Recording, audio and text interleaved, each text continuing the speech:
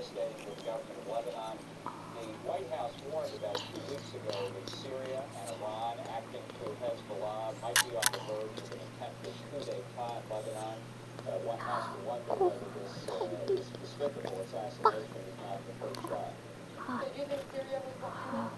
Well, you can't say for certain, obviously, but it's an interesting coincidence that eight of the last political assassinations Oh, what's up, what been the- against anti-Syrian politicians. One can follow the logic there, I think.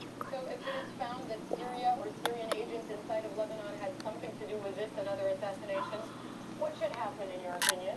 Well, you know, right here today, literally, as we're speaking, in the Security Council, we're uh, trying to reach agreement on establishing a, an international tribunal for the prosecution of those uh, responsible for the terrorist assassination of former Lebanese Prime Minister Rafik Hariri, and indeed the possibility of these other terrorist